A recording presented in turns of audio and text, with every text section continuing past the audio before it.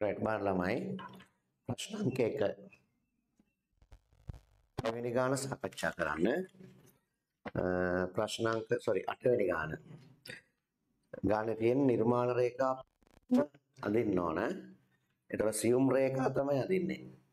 පැන්සල හොඳට උල් කරලා තියෙන්න ඕන. AB සමානයි සෙන්ටිමීටර් 6යි AB රේඛාව සෙන්ටිමීටර් 6ක් දිගයි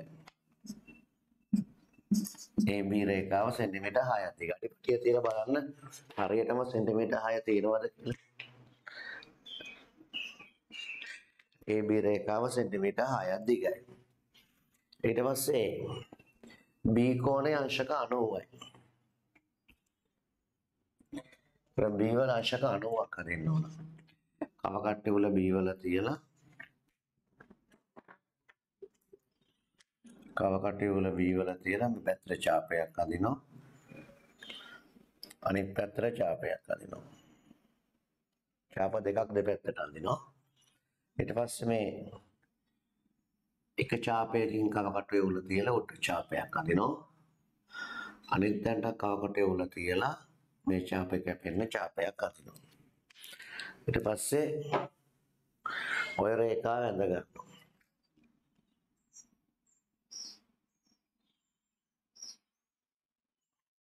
Right ඊට පස්සේ BC රේඛාව සෙන්ටිමීටර් 4.4යි. කව කටුවට සෙන්ටිමීටර් 4.4ක් අරගෙන කව කටුවේ උල B වල තියලා මෙහාට ඡාපයක් අදිනවා. එන්දම මෙතන තමයි C ලක්ෂය තියෙන්නේ. ඊට පස්සේ ABC ත්‍රිකෝණ සම්පූර්ණ කරනවා. ගාල කියනවා දෙවෙනි කොටස. දික්කල AB AC දික්කල AB මෙතන AB රේඛාව B පැත්තට දික් කරනවා. AB කියලා දික් කරාම අවසාන අකුර පැත්තට දික් කරන්නේ. අකුරු දෙකෙන් අන්තිම අකුර පැත්තට තමයි දික් කරන්නේ. AB රේඛාව දික් කරනවා. AC රේඛාවත් දික් කරනවා.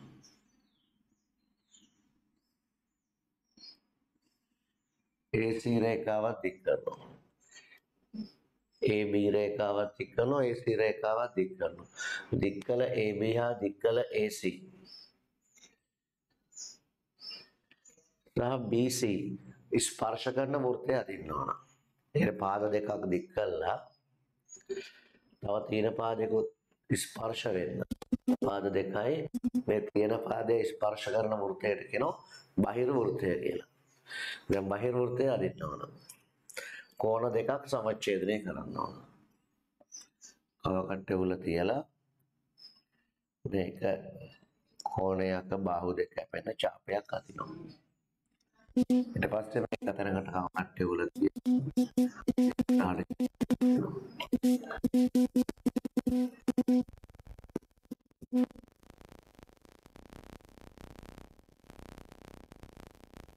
Thank you.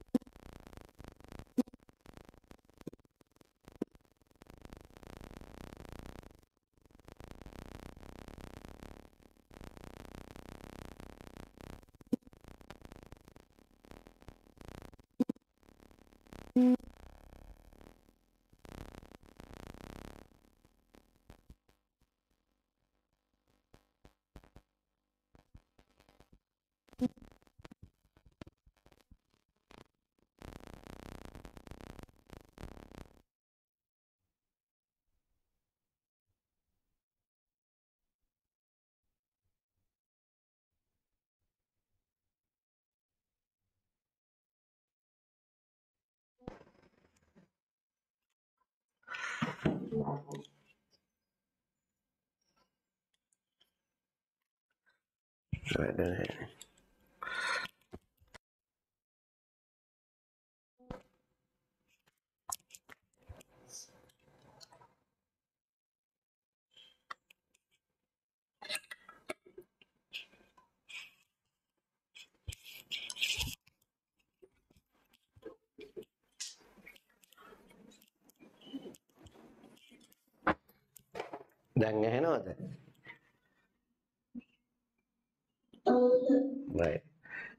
බැටරි සවුත්තු වෙලා තමයි. දැන් කවකටේ වල සීට තියලා ත්‍රිකෝණය සමච්ඡේදනය කරනවා. ඊට පස්සේ මේ කැපුණ තැනින් ඉස්සරහට ඡාපයක් අදිනවා. ඊට මේ කැපුණ තැන තියලා ඉස්සරහට ඡාපයක් අදිනවා. අඳලා සීකෝණය සමච්ඡේදනය කරගන්න. මෙතන සමච්ඡේදනය කරා B කෝණය. මෙතෙන් B කෝණ සමච්ඡේදනය කරා මෙතන C කෝණ සමච්ඡේදනය කරා. සමච්ඡේදන හමුව ලක්ෂ්‍ය තමයි කේන්ද්‍රය. මේ තමයි කේන්ද්‍රය. දැන් අරය හොයාගන්න පාදයක ලම්බකයක් අදිනවා. අරය හොයාගන්න පාදයක ලම්බකයක් අදිනවා. කව කටුවේ උල මේ කේන්ද්‍රයේ තියලා මේ පාද තුනෙන් එකක් කැපෙන චාපයක් අදිනවා. මේ චාපයක් අදින මෙහාට එක චාපයක් අදිනවා. කේන්ද්‍රයේ තියලා අරය හොයාගන්න ලම්බකයක් අදිනවා. ඊට පස්සේ මේ එක තැනකින් කව කට්ටිය වල තියලා ඉස්සරහට චාපයක් අදිනවා. ඊට පස්සේ මේ අනිත් තැනින් කව කට්ටිය වල තියලා මෙයා කැපෙන තවත් ඡාපයක් අදිනවා. ඉතින් දැන් මේ කේන්ද්‍රයයි ඡාප කැපුණ ලක්ෂය යා කරනවා. මම යා කරනවා. යා කරා මෙතන ලම්බකයි. මේ තමයි ස්පර්ශක ලක්ෂය. ස්පර්ශක වෙන තැන. දැන් මේ කේන්ද්‍රයේ කව කට්ටිය උල තියලා මෙතෙන්ට ස්පර්ශක ලක්ෂයට අරය අරගෙන වෘතයක් අදිනවා. එතකොට මේ පාද තුනම ස්පර්ශ වෙලා ගමන් කරනවා.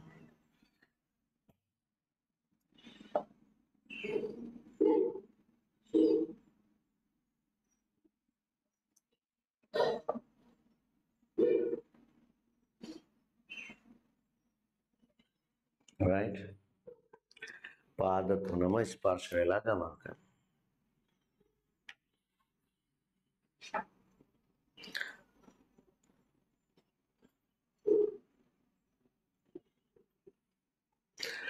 ඊට පස්සේ ගාන කියනවා BC රේඛාව සෙන්ටිමීටර් 8ක් දක්වා දික් කරන්න කියලා. BC රේඛාව B වල ඉඳලා ඉස්සරහට දික් කර. BC රේඛාව දික් කරනවා. දික් කරලා කව කටුවර සෙන්ටිමීටර් 8ක් අරගන්නවා. කව කටුවර සෙන්ටිමීටර් 8ක් අරගෙන කව කට්ටිය වල B වල තියලා මෙහෙම කව කට්ටිය වල B වල තියෙනවා. තියලා මේ ඉස්සරහට ඡාපය අදිනවා.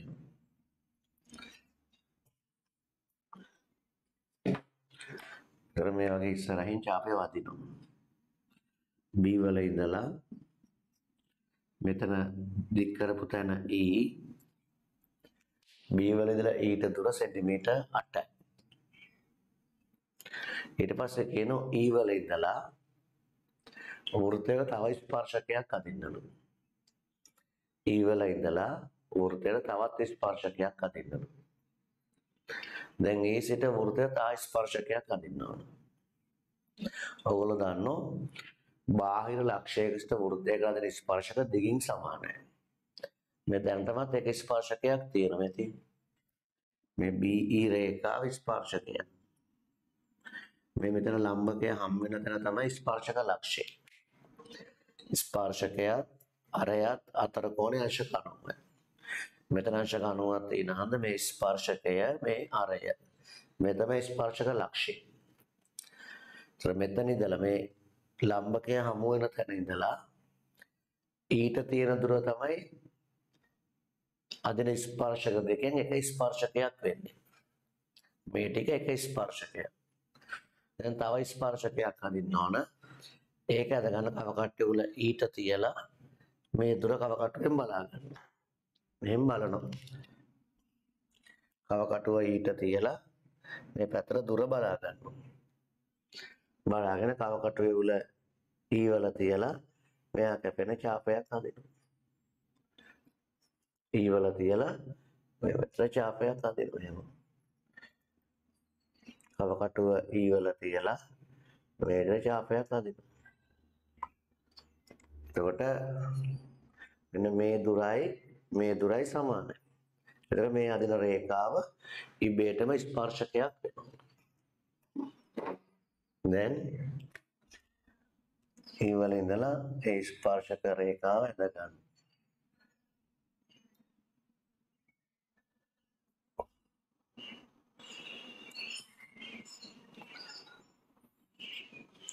ඊගාවට කියනවා දික්කල AC සහ මේ ස්පර්ශකය හමු වන තැන D කියලා නම් කරන්න. මේ ස්පර්ශකය දික් කළා AC හමු වන තැන D කියලා නම් කරන්න. දැන් D කියලා නම් කරා. ඊළඟට අහනවා ADE ත්‍රිකෝණයට අනුව ADE ත්‍රිකෝණයට අනුව මේ වෘත්තය හඳුන්වන විශේෂ නම. වෘත්තය තියෙන ඇතුළේ නිසා ඒකට කියනවා අන්තර් වෘත්තය. අන්තර් වෘත්තය. එක ලකුණු එකක් හම්බ වෙනවා. දැන් අනිත් ලකුණු ටිකත් බලන්න. AB රේඛාවෙන් නම් එක ලකුණයි. මෙතන B ගාව ඍජු කෝණයෙන් නම් එක ලකුණයි.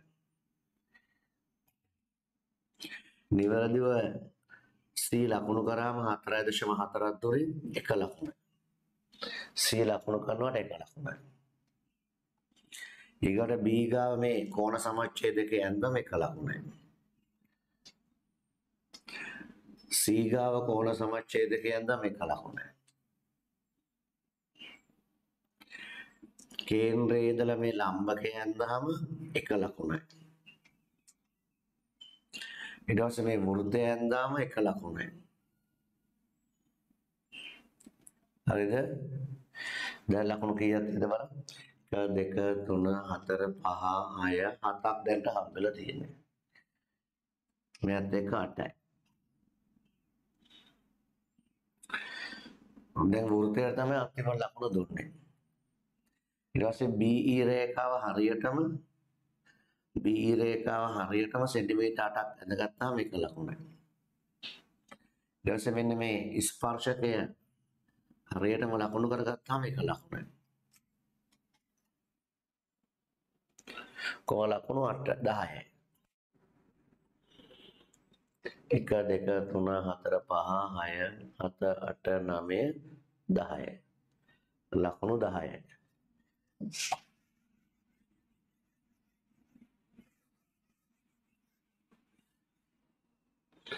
ප්‍රශ්නාංක 9 රූපේ දැක්වෙන ABC ත්‍රිකෝණයේ AB හි ලම්බ සමච්ඡේදකය CD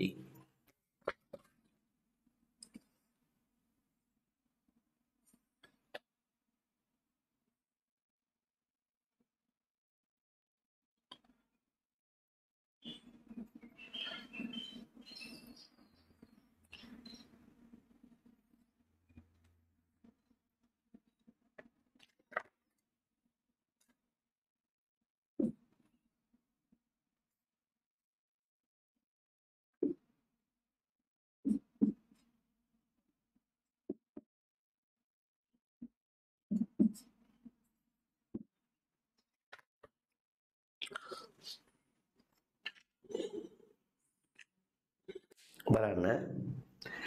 AB වල ලම්බ සමච්ඡේදකය. AB රේඛාව හරියටම ලම්බකව දෙකට බෙදෙන රේඛාව CD ඊට පස්සේ BC රේඛාවේ ලම්බ සමච්ඡේදකය AF මෙන්න මේ රේඛාව. මේ රේඛාවේ මෙන්න මේ රේඛාව හරියටම ලම්බකව දෙකට බෙදෙනවා.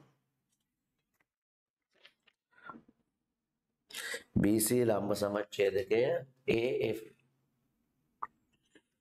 ඊට පස්සේ AE AF සමාන්තරයි GB AF රේඛාව GB රේඛාවට සමාන්තරයි. ওই රේඛා දෙක සමාන්තරයි. එක ADE ත්‍රිකෝණය. අංග සමයි. DGB ත්‍රිකෝණය බව. බලමු. සර් ත්‍රිකෝණ දෙක අඳුනා ගන්නවා ADE ADE කියන්නේ මෙන්න මේ ත්‍රිකෝණය. DGB DGB කියලා කියන්නේ මෙන්න මේ ත්‍රිකෝණය. මෙන්න මේ ත්‍රිකෝණයත් මෙන්න මේ ත්‍රිකෝණයත් අංග සමයි කියලා කියන්න ඕන. මේ ත්‍රිකෝණ දෙක අංග සමයි කියලා කියන්න ඕන. දැන් බලමු කොහොමද අංග සමයි කියලා කියන්නේ. අපිට ඉස්සෙල්ලා පුළුවන් කෝණ ලකුණු කරමු. රේඛා සමාන්තර නිසා ඒකාන්තර කෝණ සමානයි. මේව ගත්තාම මෙයා ඇල්ෆා නම් මෙයාත් ඇල්ෆා. ඒකාන්තර කෝණ සමානයි. මේ පැත්තට ගන්නත් පුළුවන්. මෙයා බීටා නම් මෙන්න මේ කෝණයත් බීටා. ඊට පස්සේ ප්‍රතිමුඛ කෝණ සමාන ලම්බ සමච්ඡේදක නිසා මේ පැත්තත් 90යි. ඒතර පාදය පාදයට සමානයි. කෝණයට කෝණය සමානයි. මේ කෝණයට මේ කෝණය සමානයි. කෝණ දෙකයි පාදයක්. දැන් කෝණ දෙකයි පාදයක්. ඕනම කෝණ දෙකක් සහ පාදයක් මේ ත්‍රිකෝණේ කෝණ දෙකක් සහ අනුරූප පාදයට සමානයි. සත් ත්‍රිකෝණ දෙක අංග සමයි. මේ ඉරි දෙකේ පාදය තියෙන්නේ ඇල්ෆාට ඉස්සරහා. මේ ඉරි දෙකේ පාදය තියෙන්නේ ඇල්ෆාට ඉස්සරහා. සත් ත්‍රිකෝණ දෙක අංග සමයි අවස්ථාව කෝ කෝ පාවස්ථාව. අපි එක ලියා ගන්න ඕන. 1 ADE ත්‍රිකෝණය සහ DGB ත්‍රිකෝණය සැලකීමෙන් AD සමානයි DB AD සමානයි DB ලම්බ සමච්ඡේදකය නිසා. ලම්බ සමච්ඡේදකය නිසා. ඊගාවට EAD කෝණය. EAD කෝණය. DBG කෝණයට සමානයි. DBG කෝණයට සමානයි. ඒකාන්තර කෝණ සමානයි. මේ දෙන ලියන්න පුළුවන් මේ දෙන ලියන්න පුළුවන්. කැමති එකක් ලියද හැකි. AED කෝණය AED කෝණය DGB කෝණයට සමානයි. DGB කෝණයට සමානයි. ඒත් ඒකාන්තර කෝණ සමානයි. එම නිසා ADE ත්‍රිකෝණය අංග සමයි. DGB ත්‍රිකෝණය. අවස්ථාව කෝ කෝ අවස්ථාව ADE ත්‍රිකෝණය DGB ත්‍රිකෝණයට අංග සමයි. අවස්ථාව කෝ කෝ පා ADE ත්‍රිකෝණයයි DGB ත්‍රිකෝණය අංග සමයි අවස්ථාව කෝ කෝ පා ඊගාවට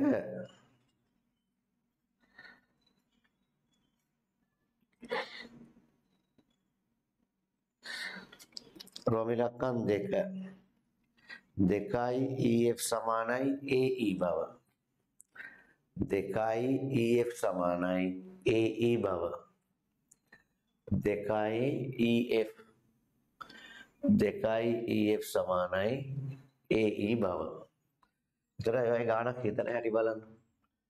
දෙවෙනි කොටස. දෙකයි EF සමානයි AE බව. තාවක අපි කරන්නේ අකුරක් අරගන්නවා මෙහෙම ආම සංගුණකයක් එක්කාම අකුරක් අරගන්නවා A B එහෙම අකුරක් ගන්නවා. අකුරක් ගන්නේ කුඩා එකට. මෙතන කුඩා එක් කියන කවුද කියලා බලාගන්න මේ සංගුණකයෙන් මෙතන සංගුණක එකයි මෙතන සංගුණක දෙකයි. ලොකු සංගුණකයක් එන්නේ කුඩා පාදයට ලොකු සංගුණකය තියෙන්නේ කුඩා පාදයට හොඳයි ඒක මතක තියාගන්න ඕන. ලොකු සංගුණකය දෙකනේ. ඒතර EF තමයි කුඩා පාදේ අපි EF ට සිම්පල් A කියලා ලියා ගන්නවා. හරි? දැන් ගානේ කියන ත්‍රිකෝණ දෙක අංග සමයි කියලා. ත්‍රිකෝණ දෙක අංග සම නිසා අනුරූප පාද සමානයි. 90ට ඉස්සරහා තියෙන AE පාදෙට 90ට ඉස්සරහා තියෙන AE පාදෙට 90ට ඉස්සරහා තියෙන BB පාදේ සමානයි. මේ පාදෙට මං ඉරි 3ක් ඇන්දොත් මේ පාදෙටත් ඉරි 3ක් අදින්න පුළුවන්. ඒකම බීටට ඉස්සරහා තියෙන DE පාදෙට බීටට ඉස්සරහා තියෙන DE පාදෙට බීටට ඉස්සරහා තියෙන DG පාදේ සමානයි. බීටාට ඉස්සරහා තියෙන DE පාදයට බීටාට ඉස්සරහා තියෙන GE පාදේ සමානයි. මම මේ දෙකට බිත්තරය ගානේ අදින්න. මෙතන බිත්තරයක් යන මෙතනත් බිත්තරයක් යන. උතන අංග සම්පීමෙන් පසු සිදුවන කාරණා. දැන් මම අරගත්ත මෙන්න මේ පාඩේ සිම්පල් A කියලා. හරිද? මෙයා සිම්පල් A. මධ්‍ය ලක්ෂ ප්‍රමේය විලෝම සැලකුවාම මේ තියෙන සමාන්තර රේඛාවක්. මේ සමාන්තර රේඛාව යන්නේ මේ තියෙන මධ්‍ය ලක්ෂය. මේම ත්‍රික හරිද මම මෙන්න මේ ටික බලනවා. ටික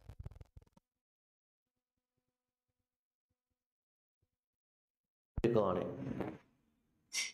මේ ත්‍රිකෝණේ F කියන්නේ මධ්‍ය ලක්ෂය.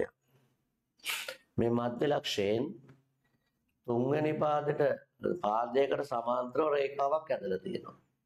ත්‍රිකෝණයක එක පාදයක මධ්‍ය ලක්ෂයේ සිට තවත් පාදයකට සමාන්තර රේඛාවක් ඇන්දම ඒ රේඛාව වෙලා හමු වෙන්නේ තුන්වෙනි පාදයේ මධ්‍ය ලක්ෂය. මේ අදින රේඛාව වෙලා මේ හම්බෙන්නේ මෙන්න මේ දිග CG පාදයේ මධ්‍ය ලක්ෂය. මේ ත්‍රිකෝණේ පේනවා ඇති ඔයගොල්ලන්ට.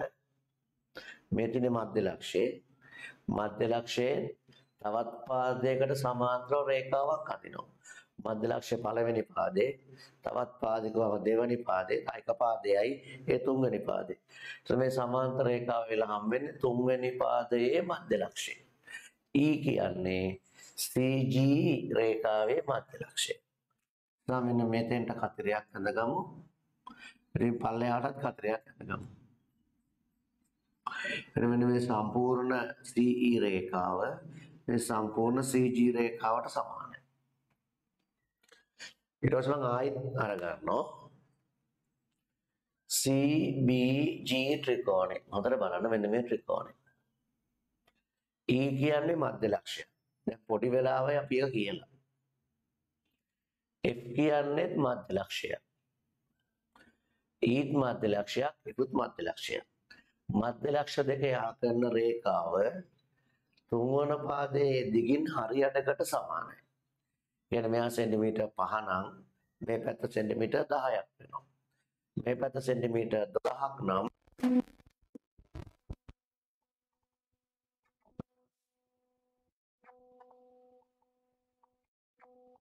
එකයි A වෙනවා. GB දිග දෙකයි. අපි ඉගෙන ගත්තා ත්‍රිකෝණ දෙක අංග සමය කියලා. මෙන්න මේ ත්‍රිකෝණය මේ ත්‍රිකෝණය අංග සමය කියලා ඉගෙන ගත්තා.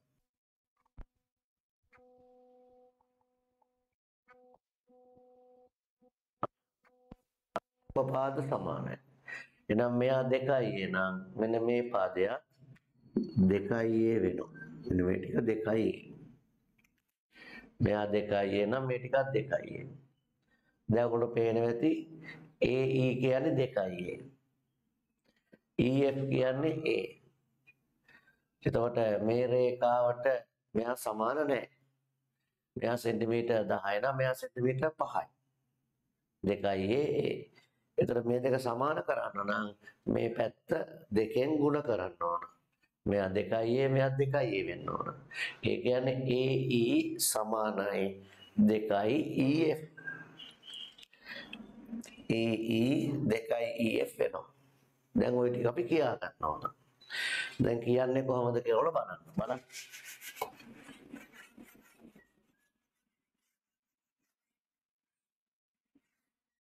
දැන් ওই ටික කියා ගන්න මෙන්න මේ දෙන සමානයි කියන එකට අවශ්‍යයි.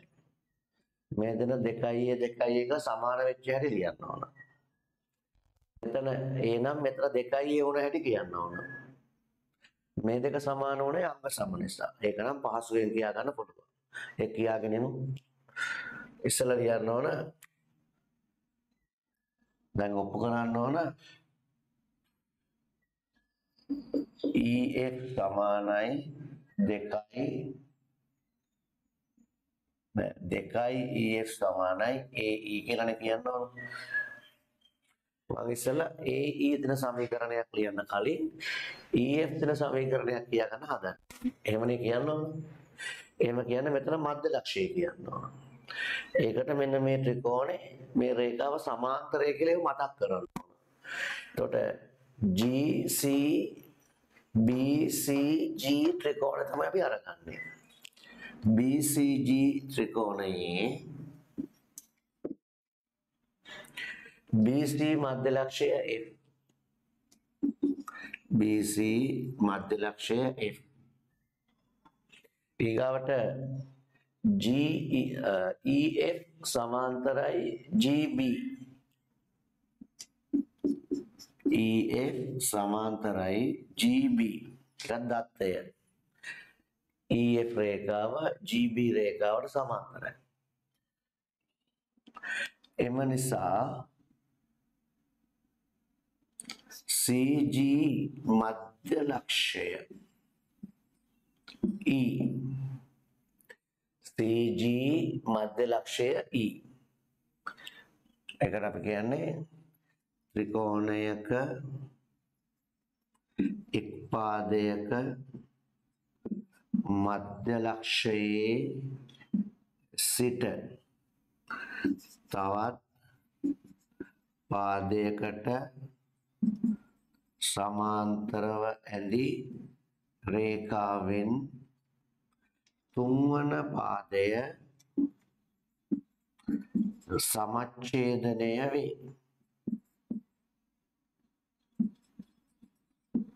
ත්‍රිකෝණයක එක පාදයක මධ්‍ය ලක්ෂයේ සිට තවත් පාදයකට සමාන්තරව අදින රේඛාවෙන් තුන්වන පාදය සමච්ඡේදනය වේ. හරි? දැන් අපිට කියන්න මෙයා මේ ටිකෙන් භාගයක් කියලා. නම් මේ ටික වගේ මෙයා දෙගුණයක් කියලා කියනවා. ඒකට ආයෙත් මේ ත්‍රිකෝණය අරගන්නවා. BCG ත්‍රිකෝණය. BCG ත්‍රිකෝණය. BC මධ්‍ය ලක්ෂය F. BC මධ්‍ය ලක්ෂය F. CG මධ්‍ය ලක්ෂය E. CG මධ්‍ය ලක්ෂය E. හරි? එම නිසා GB සමානයි 2යි EF. අපි කියන්නේ ඇත්තටම EF සමානයි භාගයයි BG. ඕකනේ මධ්‍ය ලක්ෂ ප්‍රමේයෙන් කියන්නේ. කියන්නේ මධ්‍ය ලක්ෂ ප්‍රමේය. මධ්‍ය ලක්ෂ ප්‍රමේය. right? මධ්‍ය ලක්ෂ ප්‍රමේය කියනවා EF සමානයි භාගයයි BC. EF රේඛාව BC රේඛාවෙන් BG රේඛාවෙන්නේ භාගයක්. එම නිසා දෙකයි EF සමානයි BG. දෙකයි EF සමානයි BG. EF වගේ දෙගුණයකට BG සමානයි. දැන් ඔය ලකුණු දෙන්න ගියාම ඔය අමතක වෙලා යනවා. කොටස් හතරක ලකුණු දෙන්න තියෙනවා. අංග සම කරා ලකුණු දෙකක් හම් වෙනවා. ත්‍රිකෝණ දෙක අංග සම කරාම ලකුණු දෙකයි. මතක තියාගන්න. මෙතන මධ්‍ය ලක්ෂය E කියලා කියන්න ඕනනේ. කිව්වම ලකුණු එකයි. මධ්‍ය ලක්ෂය E කියලා කිව්වම ලකුණු එකයි. ඊගාවට මෙතෙන්දී EF සමානයි 2යි GB හරි EF සමානයි භාගයයි GB හරි කියාගත්තාම ලකුණු එකයි. ඒතර ලකුණු එකක් හම්බ වෙනවා. හරි? ලකුණු එකයි. දැන් ගාන හදන්න ඕන. උත්තරේ ගන්න එපා.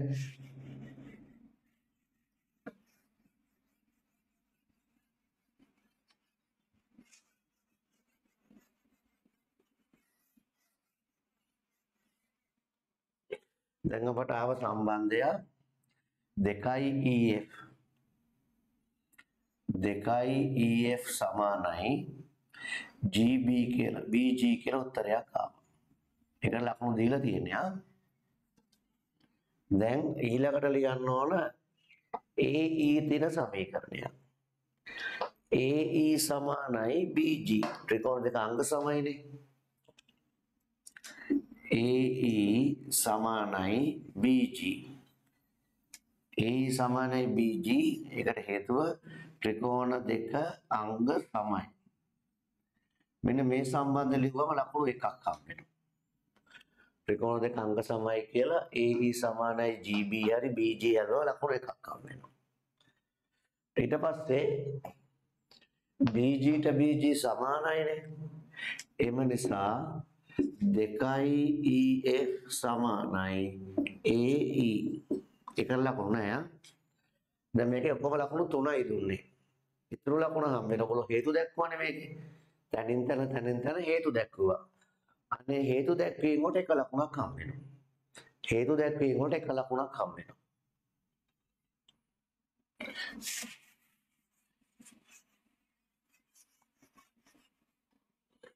දැන් රෝමිලක්කම් 3 DE සමානයි 4 එකයි CG බව.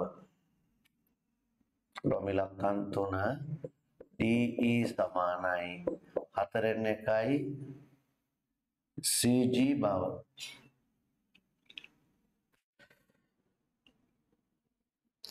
DE රේඛාව DE රේඛාව CG වලින් 4 එකක් කියලා කියනවා. දැන් DE රේඛාව CG වලින් හතරෙන් එක. ඒ මාරු කරලා ලිව්වොත් එන්නේ හරහට ගුණ කරාම 4යි DE 4යි DE සමානයි CG. කියන්නේ DE වගේ හතර ගුණයක් CG ට සමානයි. ඒතර ලොකු සංගුණකයක් එන්නේ කුඩා පාදෙට. මේ දෙකෙන් කුඩා පාදේ DE. දැන් DE හඳුනගමු. මේ තියෙන DE රේඛාව. යට මේ බිත්තරයක් ඇදලා තියෙනවා. මම ඒකට සිම්පල් x කියලා ලියන්න. DE කියන්නේ x. ඒක ඔයගොල්ලොත් කරගන්නවා. ඒක තමයි කරගන්නේ. එතකොට ඔයගොල්ලෝ පේන මෙතනත් බිත්තරයක් තියෙනවා. ත්‍රිකෝණ දෙක අංග සම නිසා මේ දෙන්න සමානයි. මෙයා x නම් මෙයාත් x. එන මේ රේඛාවත් x. එතකොට මේ සම්පූර්ණ රේඛාව E වල ඉඳලා G ට තියෙන සම්පූර්ණ රේඛාව 2s ට සමානයි. මේ සම්පූර්ණ රේඛාව 2s ට සමානයි. දැන් කලින් කිව්වා මේ CG රේඛාවේ මධ්‍ය ලක්ෂ්‍ය E කියලා. මෙතන මධ්‍ය ලක්ෂ්‍යය කියලා කිව්වා. මේ දිග රේඛාව මම මේක මකන්නම්. හරිද? මෙන්න මේ රේඛාවේ හරි මැද මේ සමාන්තරයිනේ. මෙතන මේ කතර දෙකක් ගහලා තියෙන එකනේ. මධ්‍ය ලක්ෂය E කියලා කිව්වා. කියන්නේ D E G E රේඛාව 2x නම් CE රේඛාවත් 2x වෙනවා. එන මේ ටිකත් 2x. මෙන්න මේ CE රේඛාවත් 2x වෙනවා. එතකොට මෙයා x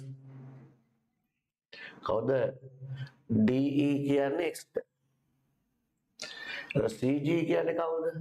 මෙතන ඉඳලා මෙතෙන්ට. x මෙයා 2x මේ ටිකත් එක 2x මෙතන 2x 4x. CG කියන්නේ 4x. එහෙනම් ප්‍රශ්නයක් නැනේ කතාව ඇත්තනේ. සම්පූර්ණ රේඛාව 4x මේ කොටස x එහෙනම් මේ ටික සම්පූර්ණ රේඛාවෙන් හතරෙන් එකක් වෙනවා. දැන් ඔය ටික ගලපලා ලියන්න ඕන. ඉස්සෙල්ලා වෙන මෙහා තියෙන සමීකරණයක් ලියනවා. මෙහා තියෙන සමීකරණයක් කරලා කොහොමයි DE සමානයි කියන සමීකරණයක් ලියනවා. DE සමානයි AG වලින් භාගයක්. මේ සම්පූර්ණ රේඛාවෙන් EG වලින් භාගයක්. මෙතන මධ්‍ය ලක්ෂණය CE සමානයි භාගයයි EG CDE සමානයි එකට හේතුව ලියලා තියෙන මේ දෙක සමානයි කියලා. එක ලිව්වේ නෑනේ මොකක්ද හේතුව ED සමානයි DG ED සමානයි DG ත්‍රිකෝණ දෙක අංග සමයි. ED සමානයි DG එහෙනම් ED දෙන සමීකරණයක් ලියනවා. ලියන්නේ ED සමාන x කියලා ලියන්න පුළුවන් හොඳ. ED සමානයි. භාගයයි EG ED සමානයි. භාගයයි EG right? ඊට පස්සේ ලියන්න ඕන CG දින සමීකරණය. CG සමානයි. එතකොට CG කියන රේඛාව මෙන්න මේ ටික වගේ දෙගුණයකට සමානයි. එතකොට CG සමානයි දැන් මේ CG වලින් භාගයක්. මෙතන එන්න ඕන 4න් 1යි කියලානේ. 4න් එකක් ලියන්න බෑ. CG සමානයි 2G. එහෙම නැත්නම් CG රේඛාව එම් භාගයක්. CG රේඛාවෙන් භාගයක් GEට සමානයි. EGට සමානයි. මේ ටිකට සමානයි. මේ සම්පූර්ණ රේඛාවෙන් භාගයක් වෙන මේ ටිකට සමානයි. සම්පූර්ණ රේඛාව CG භාගයයි CG සමානයි. EG EG right? එතකොට මෙතන දෙකෙන් එකයි දෙකෙන් එකයි EG තියෙන්නේ. මෙතන තියෙන්නේ EG. මේ දෙක සමාන නැති නිසා මෙතන දෙකෙන් එකක් ගන්න මේ සමීකරණේ භාගයෙන් ගුණ කරනවා. දෙකෙන් එකයි CG ගුණ කරන දෙකෙන් එකේ. EG ගුණ කරන දෙකෙන් එකේ. එතකොට නෝ දෙවරක් දෙක හතරයි එකවරක් එක එකයි හතරෙන් එකයි CG සමානයි දෙකෙන් එකයි EG හතරෙන් එකයි CG සමානයි දෙකෙන් එකයි EG මෙතන ED සමානයි දෙකෙන් එකයි EG හතරෙන් එකයි CG සමානයි දෙකෙන් එකයි EG දෙකෙන් එකයි EG දෙකෙන් එකයි EG සමාන නිසා එම නිසා ED සමානයි හතරෙන් එකයි CG ED සමානයි හතරෙන් එකයි CG. ED රේඛාව CG වලින් හතරෙන් එකක් වෙනවා. ලකුණු ලැබෙන්නේ මේ විදිහට. මේ දෙන්න මෙන්න මේ දෙන්න අංග සම නිසා සමාන එක්වම එක ලකුණක් හම්බ වෙනවා. right ඊට පස්සේ මේ දෙකෙන් එකයි CG සමානයි EG කියන සම්බන්ධතාවය ලබා ගත්තම එක ලකුණක් හම්බ වෙනවා. එහෙම නැත්නම් CG සමානයි 2යි EG කියලා ලියුවා ලකුණ හම්බ වෙනවා. CG සමානයි 2යි EG කියලා ලියුවා ලකුණ හම්බ වෙනවා. මේ කොටස ලකුණු මේ සුළු කිරීම වල ලකුණු දෙන්නේ නැහැ. මේ ගාන හදන තව ක්‍රමයක් තියෙනවා. එකක් බලාගන්න. සමහර ළමයින්ට ඔහොම හදන්න අමාරුයි.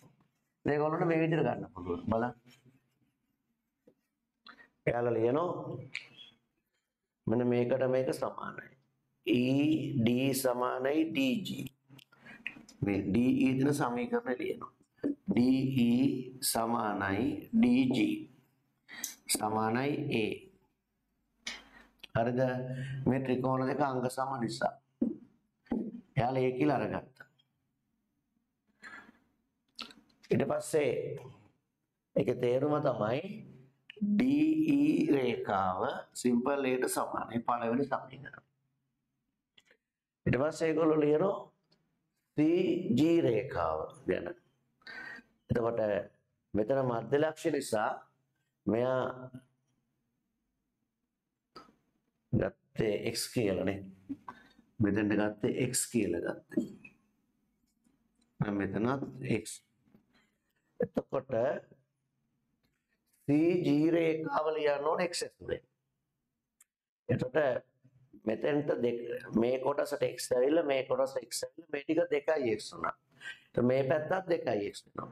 අන්න ඒ කතාව ඔයගොල්ලෝ ලියන්න ඕන. ලියනවා CE සමානයි EG.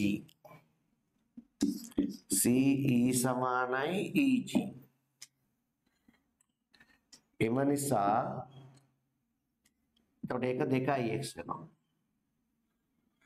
එම නිසා CG සමානයි 4x. ඒ දෙවෙනි සමීකරණය. මෙයා 2x, මෙයා x, මෙයා x ඔක්කොම එකතුව 4x.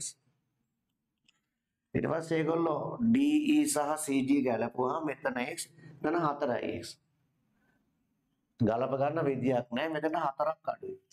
සා පළවෙනි සමීකරණය ඒගොල්ලෝ හතරෙන් ගුණ කරගන්නවා. ගුණ කරාම 4යි DE 4යි DE සමානයි 4ix. ඒ තුන්වෙනි සමීකරණය. 4ix 4ix සමානයි. එතකොට එනවා 4යි DE සමානයි CG. 4යි DE සමානයි CG. එහෙනම් DE හොයන්න මේ ಗುಣ කිරීම හතර අනිත් පැත්තට යනවා. හතරෙන් එකයි CG. DE සමානයි හතරෙන් එකයි CG. DE රේඛාව CG රේඛාවෙන් හතරෙන් එකක් වෙනවා. එන මේ ඊට පස්සේ රෝම ඉලක්කම් හතර සමකෝණී ත්‍රිකෝණ භාවිතයෙන් AE වර්ගයේ සමානයි. AE වර්ගය සමානයි 4යි ED වර්ගය බව පෙන්වන්න ඕන. AE වර්ගය සමානයි 4යි ED වර්ගය බව පෙන්වන්න ඕන.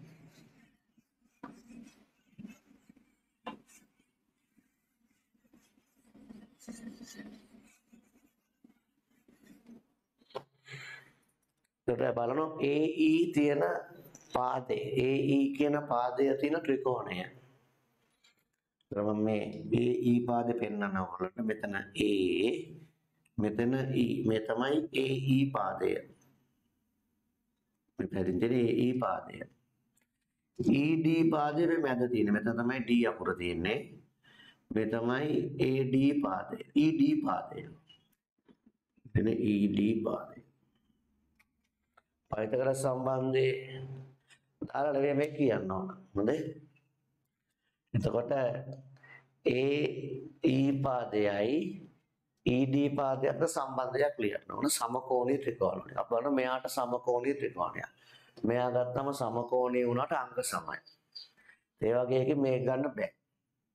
බලන්න මෙයාට සමකෝණී තව ත්‍රිකෝණයක් තියෙනවා. මෙන්න මේ පැත්ත පේනවා. මේ එක වගේ ත්‍රිකෝණ දෙකක් තියෙනවා බලන්න. මම ඒ ත්‍රිකෝණ දෙක අඳින්නම්. අඩේරි වලින් ඔය එක ත්‍රිකෝණයක් මේ අනිත් ත්‍රිකෝණය හරිද? මගුලෝ එහෙම කරන්න ඕනේ. කොට පේනවා කඩීරි කර. මේ එක ත්‍රිකෝණයක් මේ අනිත් ත්‍රිකෝණය. දැන් බලමු මේ ත්‍රිකෝණ දෙක දිහා බැලුවා. මෙයා ඇල්ෆා නම් මෙයාත් ඇල්ෆා. මේ කෝණය ඇල්ෆා නම් මේ කෝණෙත් ඇල්ෆා. මේ අංශක 90යි මෙයත් 90යි. ඒතර ඇල්ෆා දාන 90 මෙයා ඇල්ෆා දාන 90. මේ ත්‍රිකෝණේ කෝණ දෙකක් මේ ත්‍රිකෝණේ කෝණ දෙකකට සමානයි. එහෙනම් මේ ඉතිරි කෝණේ මේ ඉතිරි කෝණට ඉබේ සමානයි. එහෙනම් මෙයා බීටා. මේ කෝණේ බීටා නිසා මෙන්න මේ C කෝණයත් බීටා. ඒ කියන්නේ මේ ත්‍රිකෝණ දෙක සමකෝණී. සමකෝණ නිසා අනුපාත සමානුපාතිකයි. අපට ඕන AE වර්ගය අතර සමීකරණ ලියන නිසා ත්‍රිකෝණ දෙක සමකෝණී කියා ගන්න ඕන. මොකද්ද? AED ත්‍රිකෝණය සහ AED ත්‍රිකෝණය සහ CEF ත්‍රිකෝණය. CEF ත්‍රිකෝණය. මෙයාට මෙයා සමානයි. AED කෝණය. AED කෝණය. CEF කෝණයට සමානයි. CEF කෝණ සමානයි ප්‍රතිමුඛ කෝණ ADE කෝණය ADE කෝණය CFE කෝණයට සමානයි CFE කෝණයට සමානයි අංශක 90යි එම නිසා DAE කෝණය. DAE කෝණය. ECF කෝණයට සමානයි. ECF කෝණයට සමානයි. එම නිසා AED ත්‍රිකෝණය සහ CEF ත්‍රිකෝණය සමකෝණී. ත්‍රිකෝණ දෙක හඳුනගත්තාම එක ලකුණක් හම්බ වෙනවා. ත්‍රිකෝණ දෙක හඳුනගත්තාම එක ලකුණක් හම්බ වෙනවා. දැන් ලියන AE වර්ධිත සමීකරණය. ඉතල AE තිනයක් අරගමු. AE කියන්නේ මෙන්න මේ පාදය. එයා තියෙන 90ට ඉස්සරහා. එම නිසා අනුරූප පාද සමානුපාතිකයි. අනුරූප පාද සමානුපාතිකයි. අනුරූප පාද සමානුපාතිකයි. AE බෙදීම. AE පාදය තියෙන 90ට ඉස්සරහා. මේ ත්‍රිකෝණයේ 90ට ඉස්සරහා තියෙන CE පාදය. AE බෙදීම CE ඊට පස්සේ අවශ්‍යයි ED මේ තියෙන ED ED තියෙන බීටට ඉස්සරහා. ED බෙදීම. අනිත් ත්‍රිකෝණේ බීටාට ඉස්සරහා තියෙන්නේ EF බීටාට ඉස්සරහා තියෙන්නේ EF දැන් හරස් ගුණ කරනවා. AE ගුණ කිරීම EF සමානයි. ED ගුණ කිරීම CE AE EF ගෙන් ගුණ කරනවා. ED CE ගෙන් ගුණ කරනවා. right එතකොට අපට උත්තරයට AE අවශ්‍යයි ED ත් අවශ්‍යයි EF අනවශ්‍යයි CF උත් අනවශ්‍යයි. එතකොට AE වර්ගය හදාගන්න නම් EF උත් AE ගෙන් ලියන්න ඕන. මෙතෙන්ටත් AE එනවනම් AE ගුණ කිරීම AE AE වර්ගය වෙනවා. ගන්ධ EF ඒ ඒ අතර සම්බන්ධය බලමු. මෙන්න EF මෙන්න AE අපි හොයාගත්තා EF කියන්නේ AE වලින් භාගයක් කියලා. කියන්නේ මේ වගේ දෙගුණයක් AEට සමානයි. අපි දන්නවා EF සමානයි භාගයයි AE. මේ රේඛාව මේ සම්පූර්ණ රේඛාවේ භාගයක්. ඒ විතරක් නෙවෙයි මෙතන CE ත් අපිට වැඩක් නැහැ. CE වැඩක් නැහැ ED ඕන. CE වැඩක් නැහැ. ඕන ED. ඔගොල්ලෝ දැක්කා මෙතන x මෙතන 2x. ඒ නිසා CE වෙනුවට ED ලියන්න පුළුවන්. CE තමයි වැඩක් නැති එකනා. CE කියන්නේ ED වගේ දෙගුණයක්. ආයෙ ලියනවා CE සමානයි. 2යි ED අපට CEත් වැඩක් නැහැ CE රේඛාව ED වගේ දෙගුණයක්. දැන් ওই ටික ආදේශ කරනවා. එම නිසා AE ගුණ කිරීම EF කියන්නේ භාගයයි AE භාගයයි AE සමානයි. ED අවශ්‍යයි. මෙතිනේ ED ගුණ කිරීම CE නේ තියෙන්නේ. CE කියන්නේ 2යි ED. 2යි ED. එතකොට එනවා භාගයයි AE ගුණ කිරීම AE AE වර්ගය. ED ගුණ කිරීම 2යි ED 2යි ED වර්ගය. දැන් මේ බෙදීම දෙක අනිත් පැත්තට ගියාම ගුණ කිරීම දෙක. AE වර්ග සමානයි. දෙක ගුණ කිරීම දෙකයි ED වර්ගය සමානයි. හතරයි ED වර්ගය. AE වර්ගය සමානයි. හතරයි ED වර්ගය. තව එක ලකුණයි මේකට හම්බෙන්න තියෙන්නේ. ඒ ලම්කුණ හම්බෙන්නේ මෙන්න මෙතෙන්ට. මෙන්න මේ සම්බන්ධය ලිව්වා. සුළු කිරීම ලකුණු නැහැ AE බෙදීම CE සමානයි ED බෙදීම EF කියන සම්බන්ධය ලිව්වාම ඉතිරි ලකුණ හම්බ වෙනවා. කොහොම ලකුණු 10යි. ඒ ලකුණු 10ම තියෙන අතුස්ස. හ්ම්.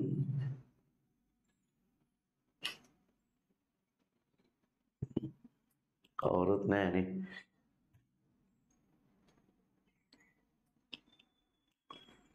කොහොමද?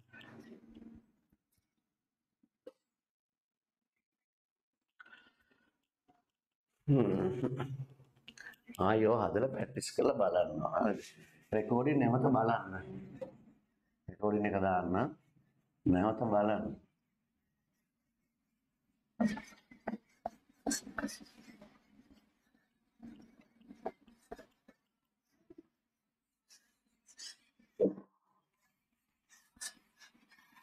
මේක හොඳ සුපිරි ගණන් ආ. මේ ගණන් ටික හොයාගන්නේ කොච්චර අමාරුද? හරි. කොහේ හරි යන ගානක් දාලා ඔයගොල්ලන්ට හදවන්නේ නැහැ හොඳද මේවා හොඳ ගණන් තමයි විභාගෙට එන්න පුළුවන් විභාග මට්ටමේ ඉහළ ධාරිතාවයක් තියෙන ගණන්. ඍජු වෘත්තාකාර ලෝහ කේතුවක් උණු කර පතුලේ අරය. මෙන් තුන් ගුණයක් උස කේතුවක් හදනවා. ගෝ කේතුවක් තියෙනවා ඒ කේතුවේ පතුලේ ආරය වගේ උස තුන් ගුණයක්.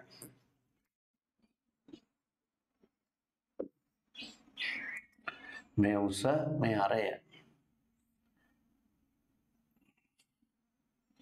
ඊට පස්සේ ගෝල 9ක් හදනවා ඒක කේතුවේ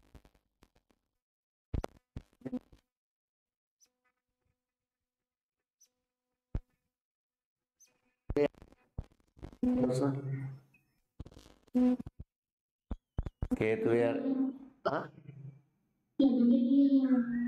කැඩි කැඩි ඇහෙන්නේ. හරි ප්‍රශ්නයක් නේ.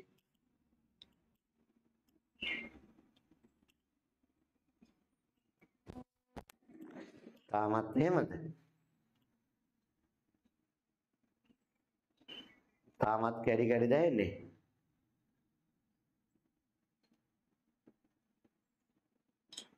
ළමයි තවමත් කැඩි කැඩි දැහෙන්නේ.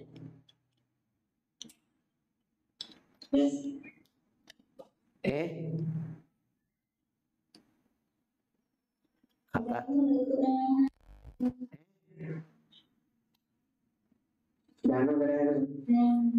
ඔගොල්ලෝ ඉක්මනට කියන්න හරි ගියාම රයිට් බලන්න. හේතුවේ අරය R කියලා ගත්ත යතොස්ස අරය R උස 3යි R කියලා ගත්ත යතොස්ස මම මේක තමයි වරද. ඒක තමයි ඔයගොල්ලෝ කරන වරද. මතක තියාගන්න කවදාවත් ජීවිතයට අරයට R කියලා ගන්න එපා ඔයගොල්ලෝ. මතක තියාගන්න අද කිව්වයි කියලා. කවම කවදාවත් අරයට R කියලා ගන්න එපා. හොඳයි උත්තරේ වි. මතක තියාගන්න අරයට ගන්න වෙන සංකේතයක්. හ්ම් හොඳට මතක තියාගන්න. අරයට මේ ගානට හරියනවා. සමහර ගණන් වලට ඒක හරියන්නේ නැහැ. හරිද? නිසා අරයට r කියලා ගන්න එපා. ඕකටවම හරියනවා. අරයට වෙන අකුරක් ගන්න. මං අරය x කියලා ගන්නවා. ප්‍රමුස 3යි x. Right? තර හේතුයේ පරිමාව. අහන්නේ ගෝලය හේතුවේ ආරය හේතුවේ පරිමාව සමානයි. ගෝල 9 පරිමාව. හේතුවේ පරිමාව ගෝලයේ විශ්කම්භයේ එනේ අරය ඒ බෙදීම දෙකයි. හරි පුතේ? අරය ඒ බෙදීම දෙකයි. හේතුවේ පරිමාව 3න් 1යි 5r වර්ගය h. ගෝල නමේ පරිමාව 3න් 4යි 5r ඝනය ගුණ කිරීම 9 තුනෙන් එක ගුණ කිරීම 5 7න් 22යි අරය x x ගුණ කිරීම උස 3යි x තුනෙන් හතර ගුණ කිරීම 5 7න් 22යි ගුණ කිරීම අරය a බෙදීම 2යි ගුණ කිරීම a බෙදීම 2 දැන් මේක ටිකක් සුළු කරගන්න පුළුවන් අපිට. තුනට තුන කැපෙනවා දැන් නමයක් නේ නමෙනු ගුණ කරනවා. තුනට තුන කැපෙනවා ඊට පස්සේ තුනේ එකයි තුනේව තුනයි. ඊට පස්සේ දෙකේව එකයි දෙකේව දෙකයි. ආයි දෙකේව එකයි දෙකේව එකයි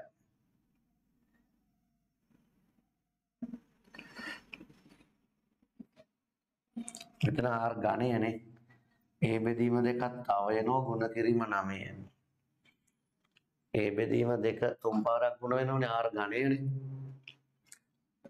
තුනෙන් හතර හතෙන් 22 ඒ බෙදීම දෙක ගුණ කිරීම ඒ බෙදීම දෙක ගුණ කිරීම ඒ බෙදීම දෙක ගුණ කිරීම 9 දෙවරක් එකයි දෙවරක් 11යි එතකොට හතෙන් 22 ගුණ කිරීම x ගණය 1 2 3 සමානයි. මෙතන 3යි කැපිලා ගියාම 11 වරක් 3 33යි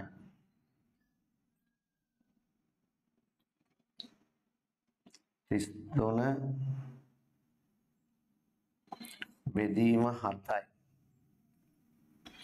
ඒ ගණය. එකොළොස් වරක් තුන තිස් තුනයි තිස් තුන බෙදීම හතයි ඒ ගණය. එක්නේ අහන්නේ. තිස් තුන බෙදීම හතයි ඒ ගණය පැත්තට මේගොල්ලෝ අරන් ගියාම. යටින් තියෙන හත උඩට එනවා. උඩ තියෙන 22 යටට එනවා. හතට හත කැපෙනවා. 11න් බෙදෙනවා. 11ව 3යි 11ව 2යි. මෙතන ඒ ඝණය. එතන 3යි ඒ ඝණය බෙදීම 2. 3 දෙකෙන් බෙදුවම 1.5යි. 1.5යි ඒ ඝණය. එකය දශම පහයි ඒ ගණය මෙතන තියෙන x ගණය x සමානයි එකය දශම පහයි ඒ ගණයේ ඝන මූලය x සමාන එකය දශම පහයි ඒ ගණයේ ඝන මූලය x සමානයි එකය දශම පහේ ඝන මූලය ඒ. ගණයේ ඝන මූලය a right? ලකුණු ලැබෙන විදිය. තුනෙන් හතරයි 5r ගණේෂ්ඨ ආදේශ කරාම මෙන්න මේ ආදේශයට ලකුණු දෙකයි. මෙන්න මේ ආදේශයට ලකුණු දෙකයි.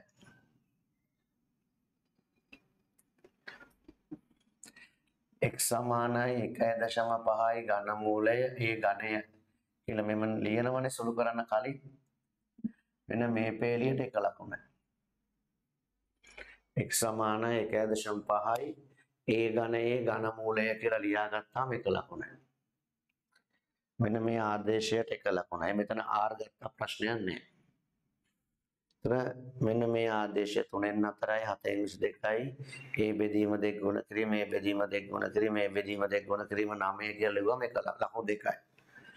ඒතර මෙන්න මේ x සමානයි කියලා ඝන මූලය කියලා ලියන මෙන්න මේ සම්බන්ධතාවයට එක ලකුණයි.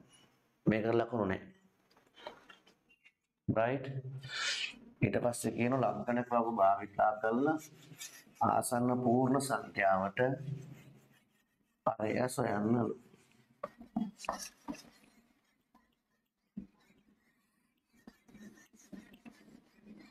ලග්ගන භාවිතා කරලා ආසන්න පූර්ණ සංඛ්‍යාවට අරය හොයන්නවා.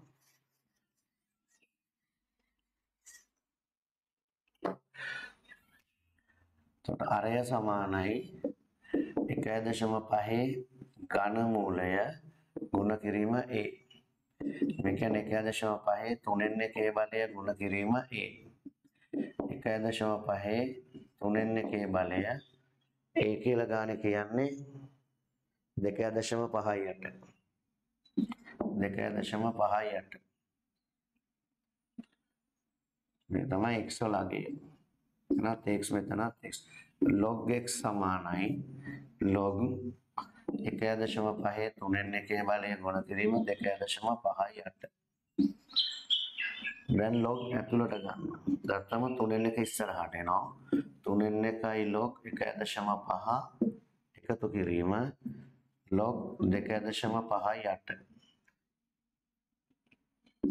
පූර්ණ සංඛ්‍යා එකයි පූර්ණාංශ බිඳුවයි.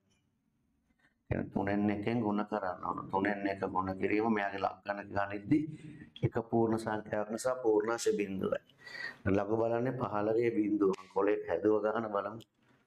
15 බිඳුව.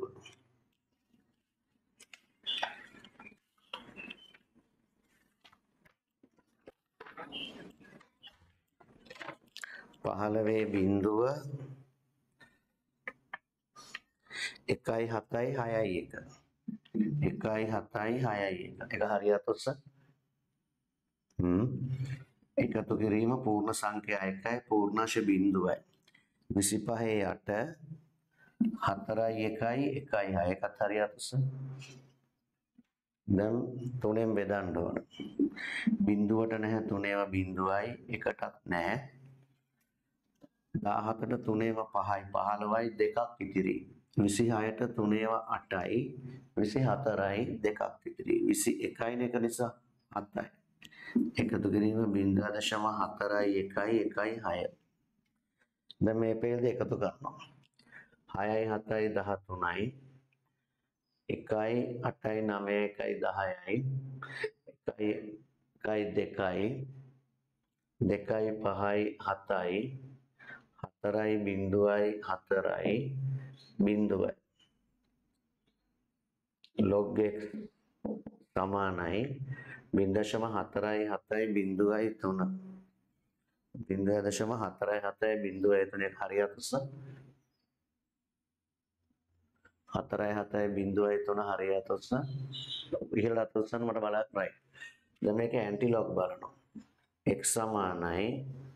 ඇන්ටි log බින්දුවයි දශම හතරයි හතයි බින්දුවයි තුන. බින්දුවයි දශම හතරයි හතයි බින්දුවයි තුන. එහෙනම් x සමානයි. හතරයි හතයි බින්දුවයි තුන තියෙන්නේ කොහෙද බැලුවාම තියෙන්නේ? 29 පහේ 3 හරි 4 හරි 29 පහේ 3 ඒකත් හරියට උස හ්ම්.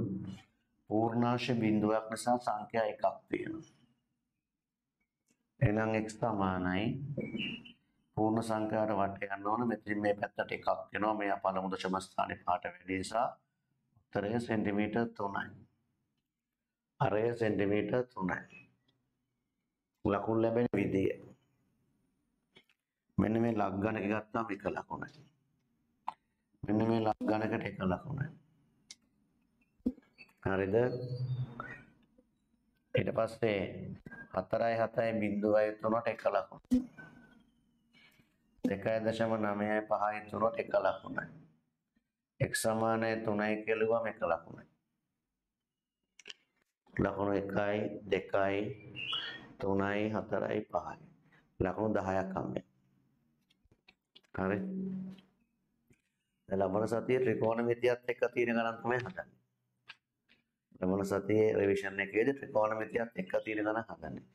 මේ පේපරේ ලකුණු 30ක් හම්බුණා 30න් 30ම තියෙන අතොස්ස. හා 30න් 30ම තියෙනවා තේවංශටනේ. තේවංශ නේද? ආ තේවංශ 30න් 30යි. ජනිත කීයද? 28යි. මොමෝක්දි විමෝක්දි අප හින්ටි කළදු?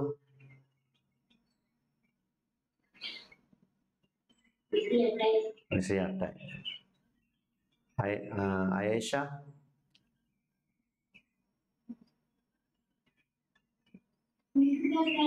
විසි අටයි අපේ ගුණවර්ධන? විසි අටයි ඔය කැමර ඔන් කරන් ඉන්න ඇත්ත ඉතරයම කතා කරේ. රයිට් එහෙනම් එයායි ලබන සතිය හමු වෙමු. ඔයාලා හැමෝටම සුබම සුබ දවසක්. ලැබුණු පේපර් හරි ගස්සන්න. ආයිබෝන් දරුවටව